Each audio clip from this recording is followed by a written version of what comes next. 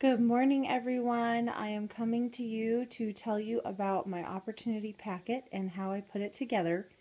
I'm super simple and easy. I like them to be able to ask questions and kind of build more of a relationship with them.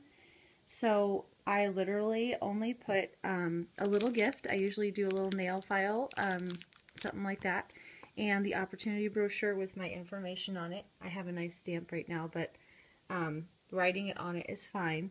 And that's really all I do, and I put it in a Ziploc baggie. These baggies um, come in our orders all the time with our little things in it, like nail files and key fobs and things like that. So these are great to recycle. They fit perfectly inside here, just like so. And I put it inside, zip it shut, and that's my opportunity brochure packet.